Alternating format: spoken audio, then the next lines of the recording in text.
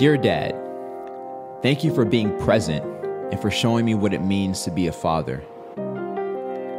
Thank you for loving me even when my hair looked like this, when I dressed like this, and when I danced like this. Thank you for teaching me the importance of education and always pursuing your dreams no matter what. Thank you for believing in my dreams and for helping me to get somewhere with them. Thank you for letting me prank you. Thank you for sharing your sweet tooth with me. Thank you for spoiling me every single Christmas. Thank you for being the example that I needed to see. Happy birthday.